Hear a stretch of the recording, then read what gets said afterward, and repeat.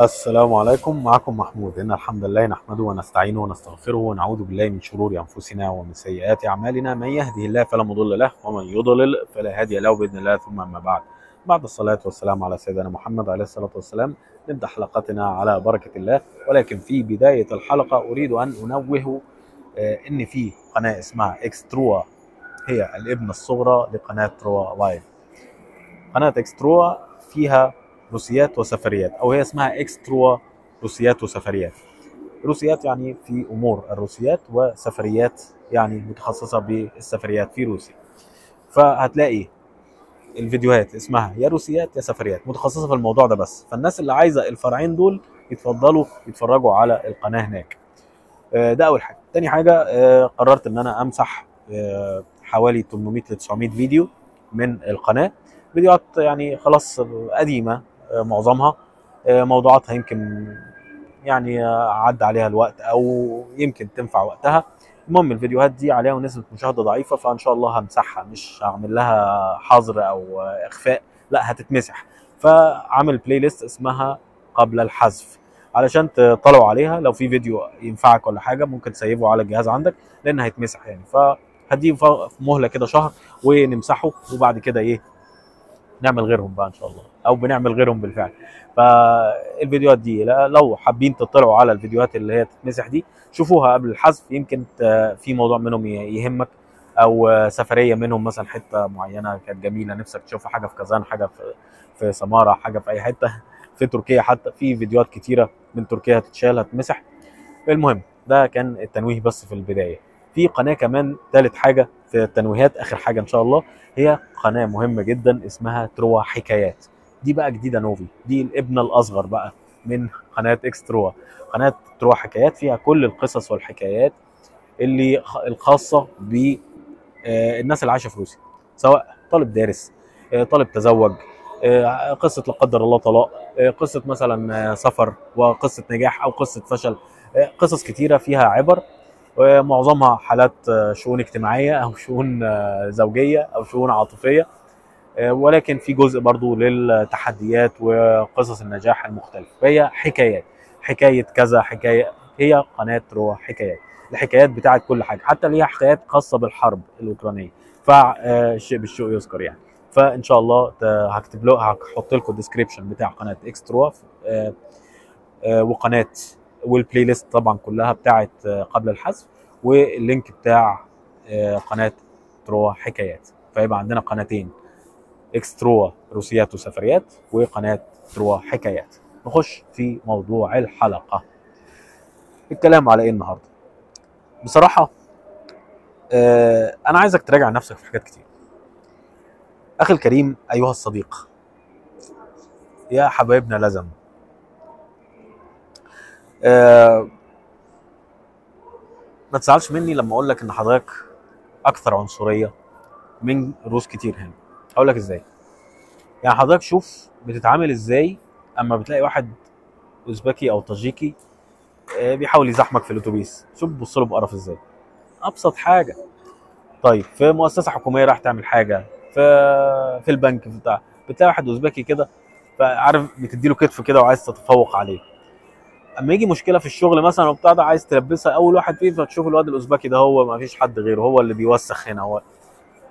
آه، تسمع إن في مشكلة وبتاع ده تقول الأوزبكي ده أكيد هو اللي عامل فدايما آه، صب الجام غضبك على الأوزبكيين والطاجيك مع إن سبحان الله هم أقل مشاكل مما تظن. يعني مثلا نادرا جدا عمري تقريبا ما سمعتها إلا مرة واحدة مرة واحدة بالظبط إن واحد عينه على واحدة في العمل يعني عينه منها عايز يتجوزها يعني واحد عربي عايز يتجوز واحدة روسية ويلاقي واحد أوزبكي بيزاحمه فيها أو بيحاول يتعرف عليها أو ياخدها منه.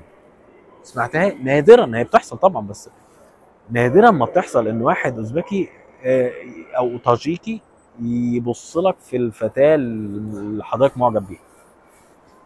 صح ولا لأ؟ اعترف. لو قلت لو لقيتها كده لو عارف إن المعلومة صح قول. طيب. حضرتك بتبص على الشيشانيين والداجستانيين أو بالذات الشيشانيين بتبص لهم بصة عاملة إزاي؟ طب الروس آه بيتريقوا عليهم ساعات بعض الناس بتعمل منهم نكت ولكن في في العمل بيحترموه؟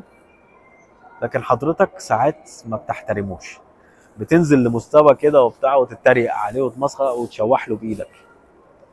الروس ما بيعملوش كده معظمهم لكن حضرتك مش بقول حضرتك اللي المشاهد ولكن حضرتك اللي هو مثلا بتكلم على 20% من العرب مثلا اللي بيشاف اللي, هم عايشين في روسيا وممكن في منهم بيشاهدوني أقول لهم 20% منكم بيزود بيشتم بيحقر من اللي قدامه إذا كان شيشاني طاجيكي أوزبكي كرجيزي يا باشا هنروح بعيد ليه؟ ده حضرتك بتحقر من العربي اللي زيك أحيانا أحيانا. يعني مثلا من غير ما أقول جنسيات. أقول لك مثلا فلان ال... ده حتة عيل. مش كده ولا إيه؟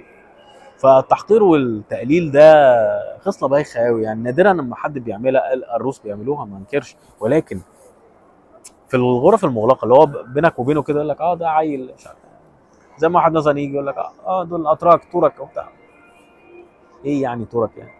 آه تركي عايز حاجة؟ آه، فيقول لك آه ده اراب اراب آه اراب عايز آه، حاجة يقول لك Chechens Chechens طب يعني كسبت انت إيه؟ أو هتخسرني أنا في إيه؟ هتزعلني في إيه؟ ففي ناس اما يقول لك آه يا أيها الشيشاني يا أيها ال- العربي يزعل قوي إيه ده؟